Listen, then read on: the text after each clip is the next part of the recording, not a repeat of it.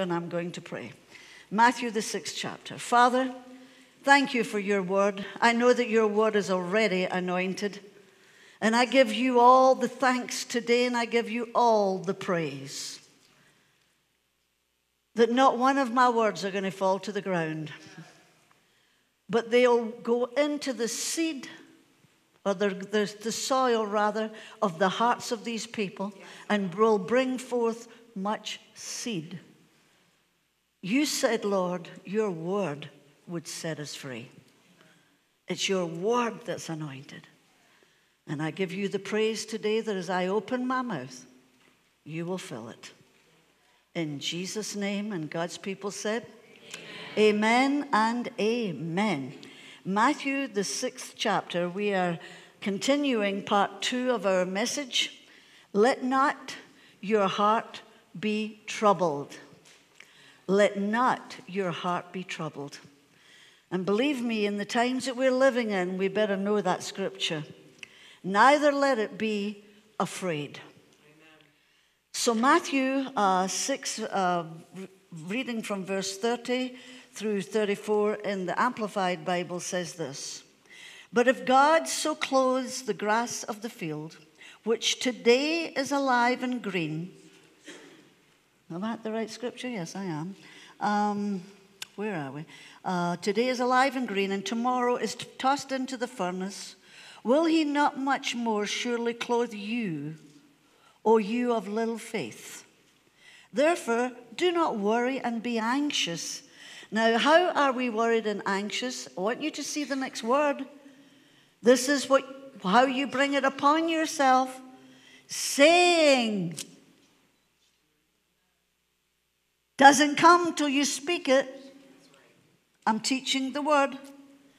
Saying, what are we going to have to eat? What are we going to have to drink? What are we going to have to wear? And I could put in there, what's going to happen to us today? This is what the enemy is planning for this generation. A spirit, many spirits of fear have been unleashed from the hordes of hell for this generation. But my Bible tells me that God never gave me a spirit of fear, but of power, love, and a sound mind. And when you're operating in fear, beloved, you've got anything but a sound mind. So do not worry, don't be anxious, saying all these things. For the Gentiles, the heathen, wish for and crave and diligently seek all these things, and your heavenly Father knows well that you need them all. But seek, aim at, and strive after, first of all, his kingdom and his righteousness, his way of doing and being right. And then all these things taken together will be given to you besides. So do not worry or be anxious for tomorrow. I'm going to say that again. Beloved, hear the voice of the Lord. Do not worry or be anxious about tomorrow. For tomorrow will have worries and anxieties of its own. Sufficient for each day is its own troubles. That's the life we live. That's the world we're in. But again, I tell you what the Bible tells us as Christians. We might be in this world, but we're not of it. That's right. You know, as I was teaching last week about Caleb, he had a different spirit. The Bible actually uses the word different. He said Caleb had a different spirit. At 84 years old, or however old he was, I think it was 84, somewhere in there anyhow, he said, Give me the mountain I've been waiting a long time for my inheritance and I'm not giving up till I get it. How long have you been waiting for the promise of God to manifest or take, take care of you? How long have you been waiting? And you may get weary in well doing, but I'm here to tell you today don't let it happen. Because the enemy is trying to wear the saints of God out. The scripture is very clear. That's what he does wears out the saints, if he can. But the only thing that can keep you strong is the Word of God It's the only thing. You need to hear the word ministered to you.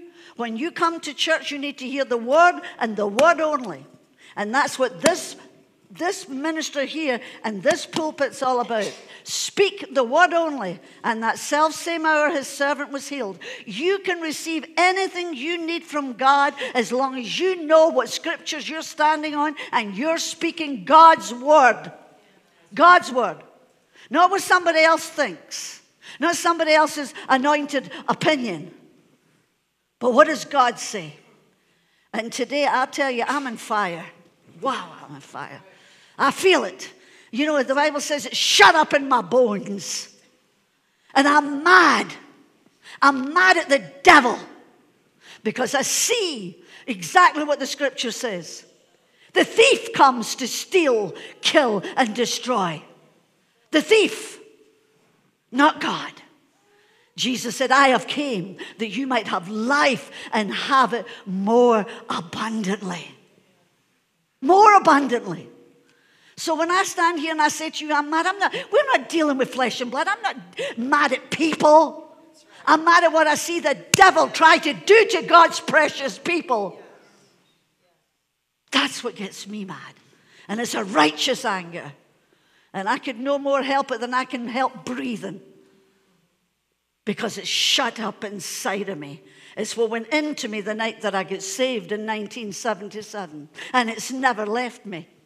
It's never left me. I never heard anything, anything about the authority of the believer in my lifetime. I didn't even know where Genesis was in the Bible. But when I got a hold of the scriptures that talk about the authority of the believer, I got a hold of it. And I realized how the church, and I can look back now over all these years and see how the church has been sleeping. Well, it's time for that sleeping giant to wake up and take our place in society. Because this world is waiting for your light to shine, so shine before men that they see your good works and glorify your Father in heaven. Oh, glory. Well, that was your chance to say amen. You missed it. Hallelujah. Jesus told us in John 14 27, let not your hearts be troubled, neither let them be afraid. Matthew 6 34 here it says, Do not worry about tomorrow, for tomorrow will for tomorrow will worry about its own things. Sufficient for the day in its own trouble. God does not want his children worrying. He does not want us stressing out. He wants you to know that He gives you all the help you will need for this day. Don't, never mind about tomorrow, just today. This is the only day you've got, beloved. You don't have tomorrow. You, yesterday's gone. But you have today. He doesn't want you to worry. He wants you to know that He gives you all the help that you will ever need for the day that you're in today. And when tomorrow comes, so will fresh help from Him come.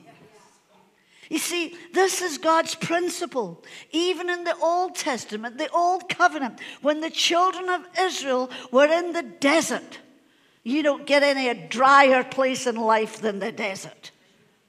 You know, naturally they were in the desert, but they were also in a very spiritual desert. God gave them fresh manna from heaven every morning. You can study this out in Exodus, the 16th chapter. They did not have to worry about tomorrow. I just heard that old song again. The Scottish Cameron sang it years ago. I'm just, I'm, you th- might think I'm crazy, but I'm just led by the Holy Ghost. No need to worry about tomorrow. It's all in the Master's hands. No need to worry about the future, because it will be as He has planned. Whether the day be stormy, whether the day be fair, no need to worry, no need to hurry, for He'll be right there. Do You want to sing it with me? Come on, you want to sing it with me? Let's wake up. Let's be alive. That's what church is supposed to be. Come on. No need to worry about tomorrow, for it's all in the Master's hand. No need to worry about the future, it will be as He has planned.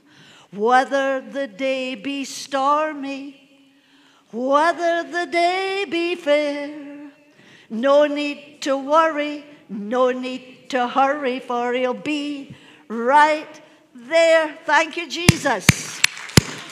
Thank you, Lord. So they didn't have to worry about tomorrow because when tomorrow came, there was fresh manna again. But you know what happened to them? They got tired of the manna, didn't they? They started to grumble and complain again, just like we do today. We're always looking for something new. And the only way you'll be satisfied with anything is when you understand God's word. Because it's not new, it doesn't change. It's the same as Jesus, it's the same yesterday, today, and forever. And once you get that manna, that fresh manna inside of you, you will want for nothing. The rogue waves can hit your ship, beloved, and you can feel like you're tossed to and fro, and you wake up during the night screaming, Lord, Lord, help me. He's there. And let me tell you where he is. He's in the hinder part of the ship, sleeping, and he's telling you to do the same thing. Go to sleep, child, he's saying. I've never left you. Let not your heart be troubled, neither let it be afraid. I am here. I am with you. I am with you always, even till the end of the age. So he was their provision every day. Every day. Today, God's manna for you and I is the grace that He gives you every day. The grace, He said, My grace is sufficient for you. Let me say something to you I hope you'll never forget, beloved. You cannot live on the echoes of yesterday. You can't. You'll find yourself getting down and down and down because yesterday is dead. You can't stay in death, you have to stay in life. Every day, you and I, as Christians, receive God's manna, and it's in the form of His grace. If you're worried today about a situation, you're worried about tomorrow, know that when tomorrow comes, there'll be sufficient grace for you for that situation. Wait till it comes. Cross that bridge when you get to it. God wants you to simply rest. Rest in His ability to heal you, to deliver you, to protect you, and to provide for, your, for you every single day. And He will. Does it always come just the way we want it? You know, no, we're in this fast, fast, fast, fast, fast lane of life. This generation, there's never been a generation that has known anything faster than this one. Technology, everything. But God's not in a hurry. And He says to you and I, in my time. And listen, can I, say, can I just be real? This is an area I have worked on. My children can tell you I've worked on it. Ask that lady in the front row. Patience is not something I was gifted with. Thank you. One honest person in here? When I say I want something, I want it yesterday. But I've had to learn to process. And I'm still learning. I'm still learning more today than I ever did in my life. And I thought when I got to my time of life, you know, when you're in your 50s, you know, you're supposed to have learned something. Some of you are looking up here, she for real? Yeah, I'm for real. So when tomorrow comes, as I said, I'm preaching this to me. His grace will be sufficient. In the Old Testament, when the armies of the Moabites and the Ammons and they came together, King Jehoshaphat was in among them. And God told the anxious king, Do not be afraid or dismayed. I love this scripture, beloved, for the battle is not yours, it's God's. You will not need to fight in this battle. Just stand still and see the salvation of your Lord.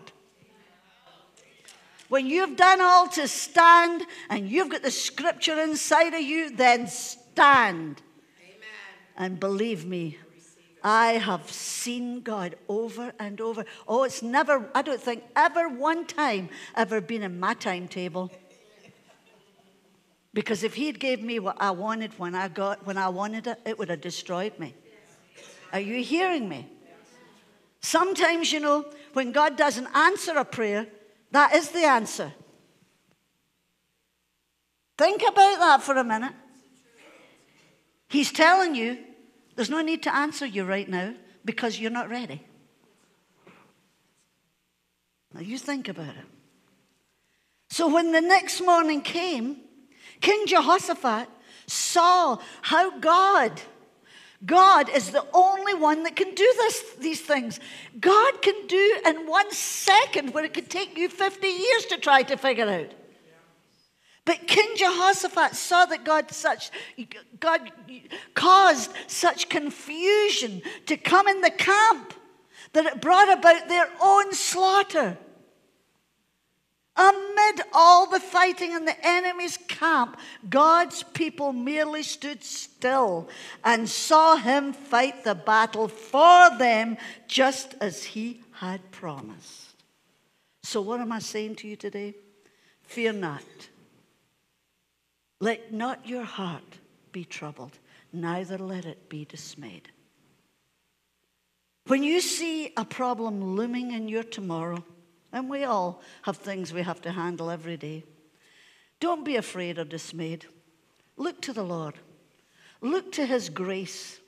Let His salvation deliver you, spirit, soul, and body. When you got saved, it just wasn't, you know, that you're saved now and you're going to heaven. Thank God for that. We watched a, a general of God depart from our face of this earth this week or last week. And I just happened to notice early this morning, I just, they, had a, they were lining the streets to pay a man of God honor, Billy Graham. And let me tell you, he, he, all of heaven was rejoicing. What a day that will be when my Jesus I will see. Here we go again. I'm not singing it. When I look into his face, the one who saved me by his grace when he takes me by the hand, leads me to that promised land. What a day, glorious day that will be. That will be. But while we're here, God's salvation is for every part of us. He knows we're human. He knows the frailty of our flesh. He knows all about us. He knows we have feet of clay. And that salvation stretches to every part of your need spirit, soul, and body. Hallelujah. Hallelujah. God wants you and I to live a stress free life. I don't think for one moment that this is easy when you're, when you're in full time ministry because stress just comes with the territory. And I have learned my best to cast it down. It's not always easy. And I still have sleepless nights. But I try to train myself to do what I try to teach you to do. Because we all face that adversity at one point or another. We do. Is anybody here? He doesn't want you to be stressed. He doesn't want you to be filled with worries about tomorrow's problems because He's there when tomorrow comes. His grace will be there for you. He'll be there to help you, He'll protect you, He'll give you favor, and He'll enable you to come through. Believe me when I tell you, I know. Pastor Sandy said something yesterday that went into my spirit. She said it more than one time. But she said, and I put it into my message late last night. She said, But you'll also find out that it's hell to show up before he gets there. That's why God is saying through faith and patience, you inherit the promises of God. You don't always inherit them like that. And then I have people come to me all the time, well, Pastor, Pastor why didn't that work? The secret things belong to God. There are things you and I don't have the answers to. He's got that book. And it's someday you'll find out book. And he'll open that book and he'll show you. But meantime, you trust him. Meantime, you get on with your life. And you don't have to walk around like a Christian like this. Oh, oh, I don't know what today is going to bring. Oh, I tell you, when I hear that stuff, I remember the book that I read years ago God, what do I do when strangulation is not an, op- an, an, an option? Thank God I read that book years ago. Because it's the truth, isn't it? Moaning and groaning and booing and poor me. People are starving all over this world, being blown up, not even a tent to sleep in. And we complain. Well, moving right along, hallelujah. So it's hell to show up before he gets there. We better know that He's taken us there. But you see, beloved, we don't always see things clearly in the moment. It's looking back, you see many things. You see God's hand. Let me read something to you. It's about a king in Africa who had a close friend that he had grown up with. The friend had a habit of looking at every situation that ever occurred in his life. And he looked at it positive all the time, never negative. And he always said, This is good, this is good, this is good. One day, the king and his friend were out in a hunting exhibition. You may have heard this, I've talked uh, years and years ago, but for those who haven't heard it, bear with me. So he was out in a hunting expedition, and the friend would, uh, would load and prepare the guns for the king. So the, ki- the friend had apparently done something wrong in preparing one of the guns. For after taking the gun from his friend, the king fired it and his thumb was blown off. Examining the situation, the friend remarked, as usual, this is good. to, which the king replied, This is not good, and proceeded to send his friend to jail. About a year later, the king was hunting in an area that he should not have he should have known to stay clear of because there was cannibals there and they captured him and took him to their village they tied his hands, stacked some wood, set up a stake, and bound him to the stake. As they came near to set fire to the wood, they noticed that the king was missing a thumb. Being superstitious, they never ate anyone that was less than whole. So, untying the king, they sent him on his way. As he returned home, he was reminded of the event that had taken his thumb and felt remorse for the treatment of his friend. He went immediately to the jail to speak with his friend. You were right, he said. It was good that my thumb was blown off. And he proceeded to tell the friend what had just happened. I'm so, so sorry. Please forgive me for sending you to jail for so long. It was bad for me to do this. No, his friend replied, This is good. What do you mean this is good? How could it be good that I sent you to jail for a year? Well, King, if I had not been in jail, I would have been with you.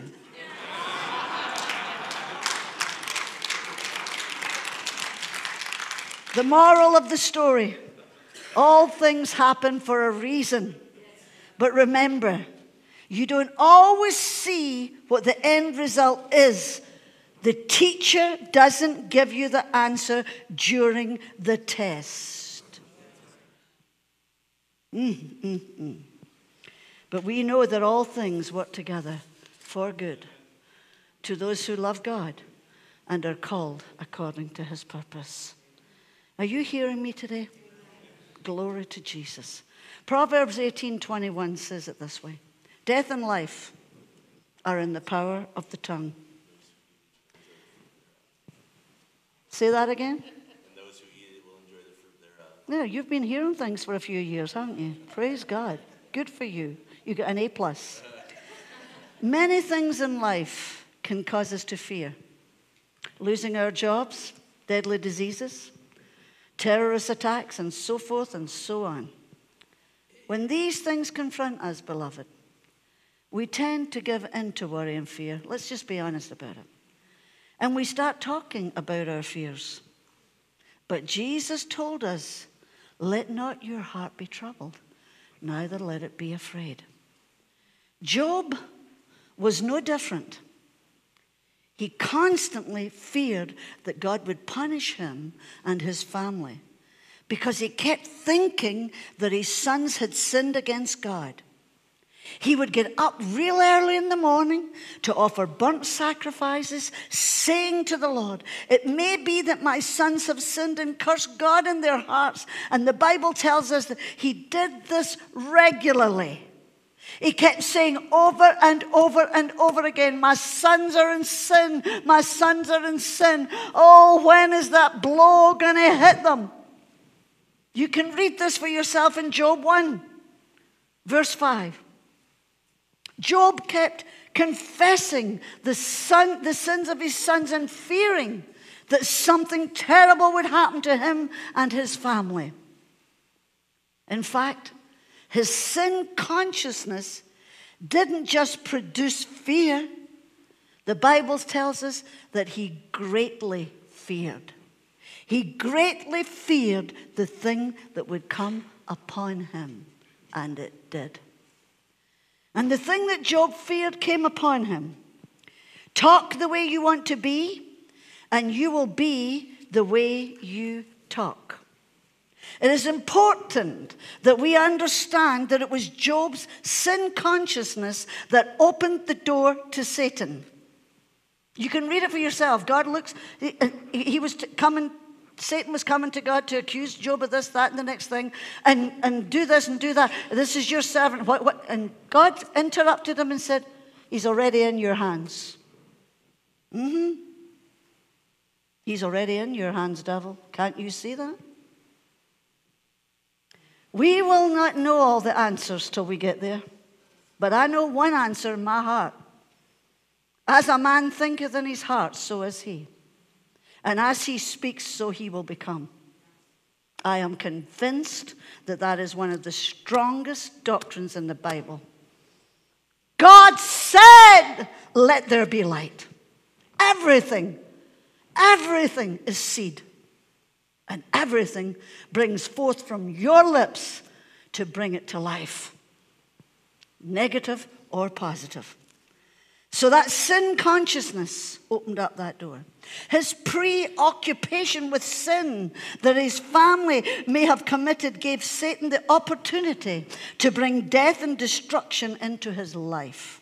I'm not saying this, it's the Bible. Study the book of Job and you'll see it. The hedge was removed and Satan attacked. Job 1 9 through 12.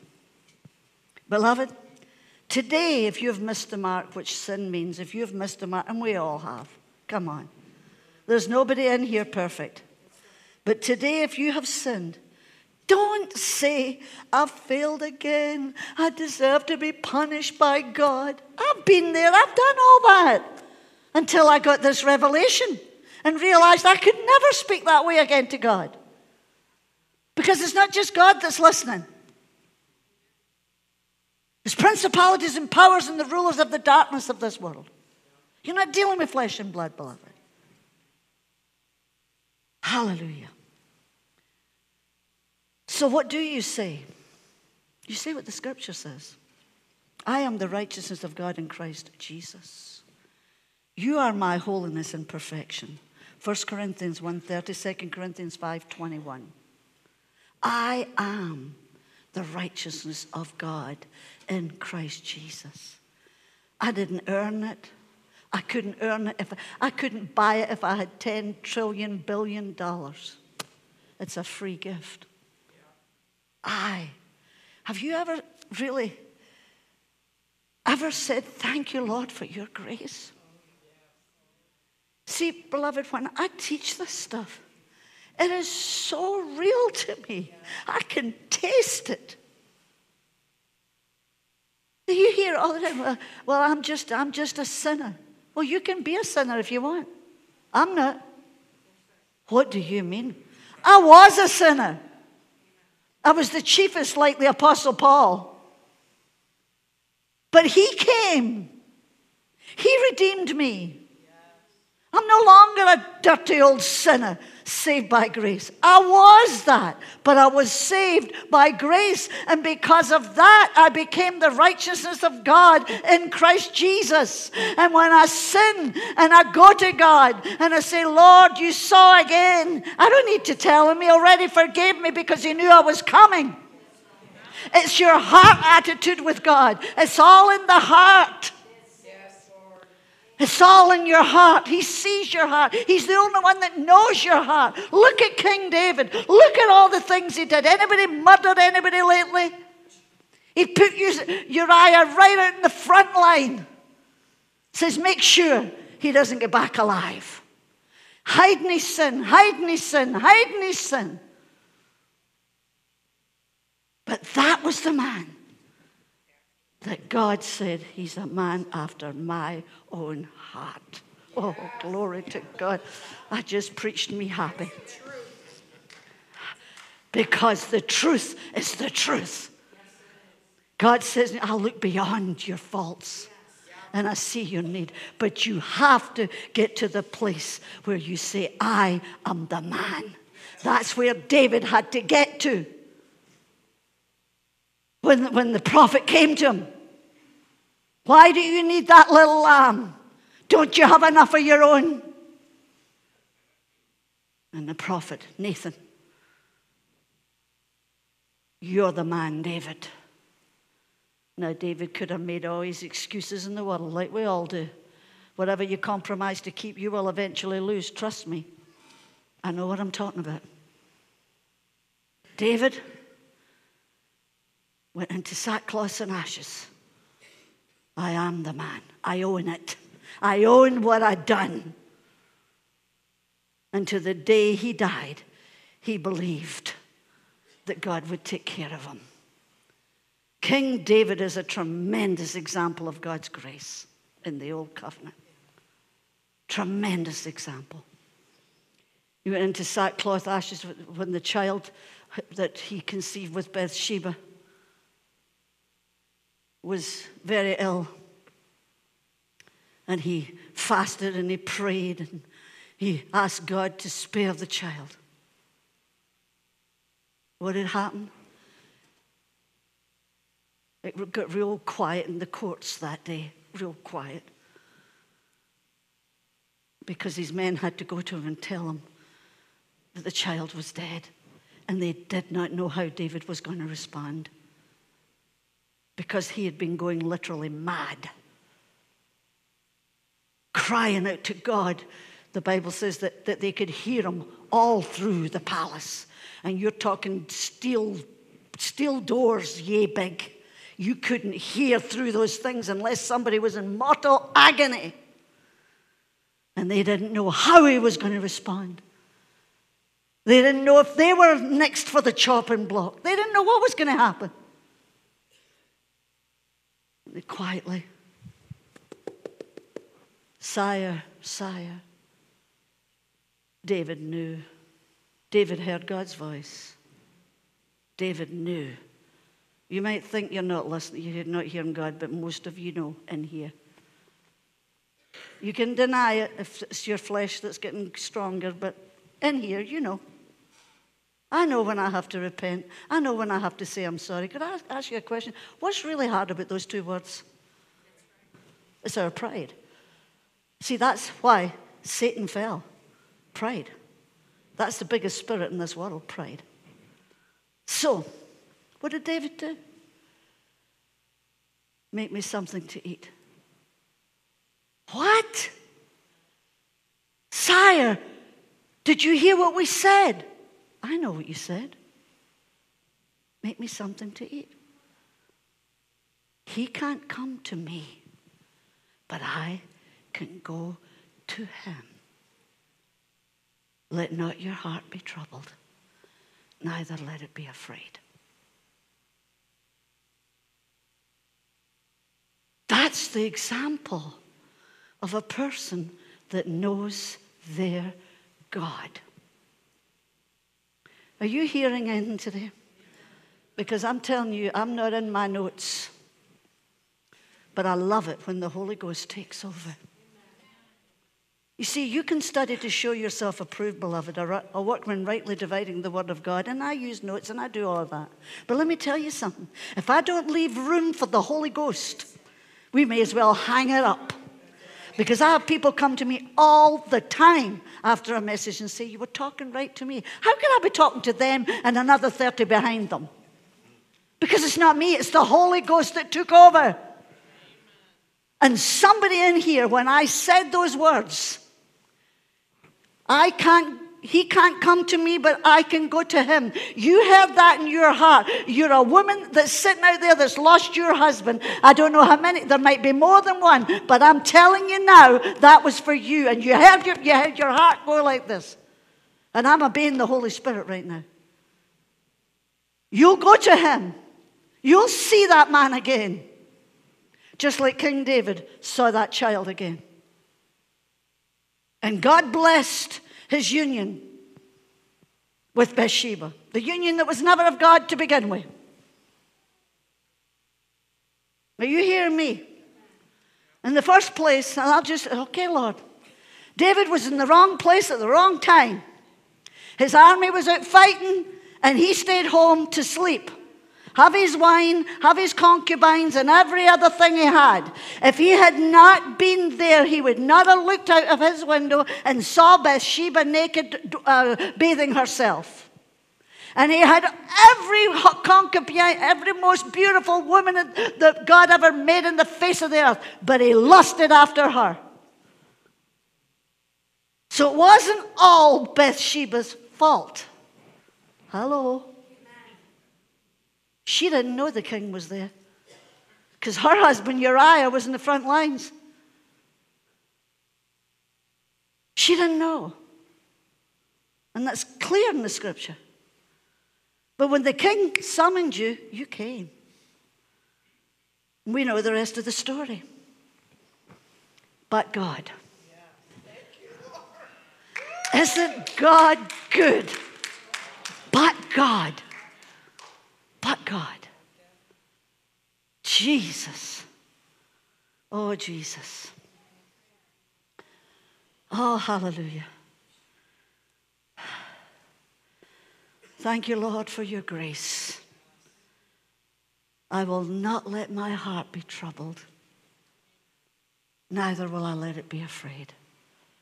Because no matter what tomorrow holds, I know who holds tomorrow. So we must be very mindful, and I'm going to close in a few moments. We must be very mindful of what we believe and say regularly. I'm not talking about now and again you slip up, but regularly speaking negative, negative, negative. Afraid of this, afraid of that. Afraid, I, I don't want to go to the doctor because I know what he's going to say to me. Well, you know, he might just say you're in perfect health. You, know, we, we get all these thoughts in, in, into our minds. So I'm saying to you from the bottom of my heart today death and life are in the power of your tongue. So when you hear of a deadly virus taking many lives, don't say, I'm next. I'm next because I haven't been a good Christian. God's going to get me. No, if He was going to get you, you'd have been got a long time ago. I know I would have been. Instead, you say, Jesus, You are my righteousness. You are my protection. Surely you shall deliver me from the snare of the fowler and from the perilous pestilence. Psalm 91 3. Beloved, such believing and confessing not only please God, but they also shut the door on Satan that he cannot make any inroad into your life. I've got more notes, but I'm closing with something funny. Is that all right? I feel like a laugh. Do you want a laugh? I didn't hear enough of you. All right. The story, and again, this is an oldie and a goodie. The story is told of an 80 year old wife. She's 80 years old. She was arrested for shoplifting. And when she went before the judge, he asked her, What did you steal? She replied, A can of peaches, Your Honor. The judge asked her why she had stolen them, and she replied that she was hungry. The judge then asked her how many peaches were in the can, and she replied, Six. Then the judge said, I will give you six days in jail. Before the judge could actually pronounce the punishment, the, the woman's husband spoke up and asked, Judge, Judge, can I say something, please? Yes, what is it? The husband said, She also stole a can of peas. so evidently, she was a nagging wife and he wanted rid of her for a while. Hallelujah. Every head bowed and every eye closed. God bless you. Thank you, Jesus. it's okay to laugh in church. It really is. God's laughing at us every day. Hallelujah.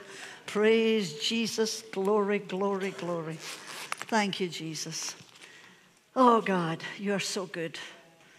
You are so gracious and so kind and so good to all of us. Now, Father, in Jesus' name, I thank you for everyone within the sound of my voice. I pray that everyone knows you, Lord, as their Savior, the most precious gift of all, the gift of Jesus Christ. If you're here today and you're not sure that you've ever really been born again, and you've heard this message and you've said, I want that. I want that freedom. I want that. I want to know God that way. And you would say, I'm not sure if I've really ever been saved. It's so simple. You don't even have to come out of your seat.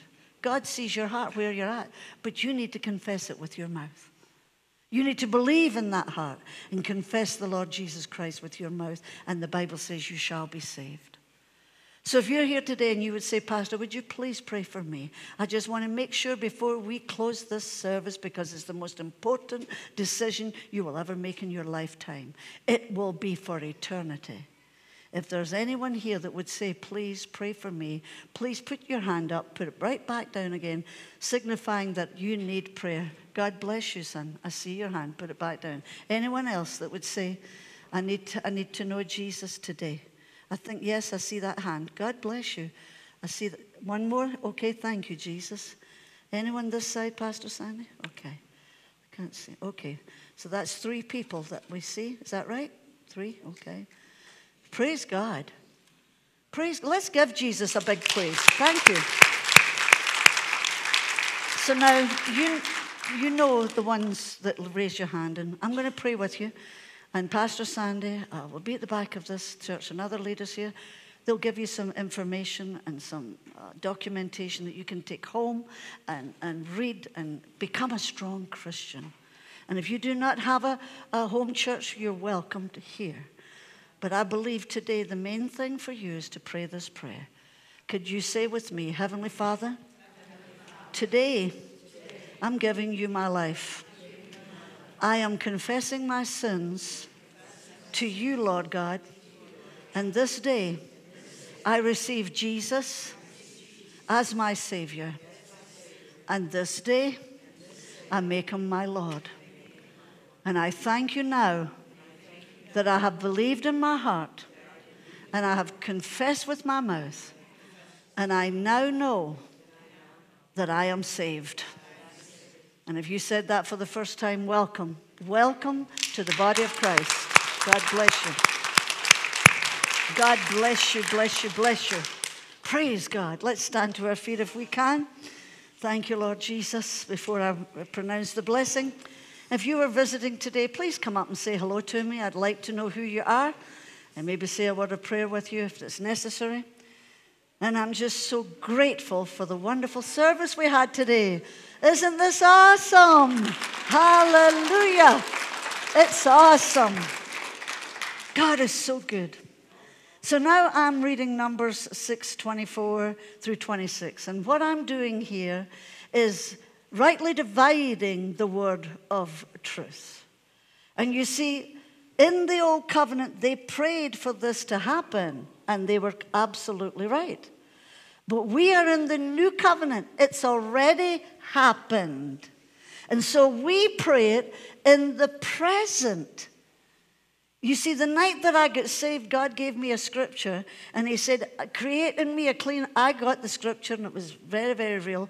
And for months I would say this Create in me a clean heart, O Lord, and renew in me a right spirit. I'd always be in my prayer closet. Create in me a clean, uh, new heart, Lord, and renew in me a right spirit. All the time. And one day the Lord interrupted me. You know what prayer is? It's waiting to hear His voice, but most of the time we don't shut up long enough. So one day he interrupted me. He said, Excuse me. I said, Yes, Lord. Why do you keep asking me to do what I did for you the night I saved you? I says, But every day, Lord, I want, I want a new. He says, when you were given a heart from your mother and father, you know, in your mother's womb, do you get a new heart every day? No. He says, You received a new heart and a right spirit that night. Now confess it. And by God, it didn't take me long to do it. I thank you, Father, that I have a new, new heart, new spirit. I thank you, Lord, I'm the righteousness of God in Christ Jesus. I thank you that I'm the head and not the tail. I'm above and not beneath. I thank you, Father, that I have your power inside of me. That power in the earthen vessel and the seed of God has produced great fruit in my life and great fruit in this ministry and great fruit in my children, their children's children, children's children to come. And I'll look over the banisters of heaven someday and I'll see them raising their hands to you if you tarry, Lord. Am I in the right church? Bless the Lord, oh my soul. So now, I, now you know why I'm saying it this way. The Lord has blessed you. The Lord has kept you. The Lord has made his face to shine upon you and be gracious to you. The Lord has lifted up his countenance upon his church and he's given you peace. Wow. That's why it's on that sign as you go down the, the, the driveway. This is important that you leave a church blessed, not condemned, not under this heavy cloud of conviction, uh, condemnation. The Holy Ghost will convict you, but He will not condemn you. You know why? That condemnation was put on that tree. He paid the price for me. Oh, glory. I, I don't even want to stop. This is really, really. Could we just raise our hands to the Lord right now? Just, just that's.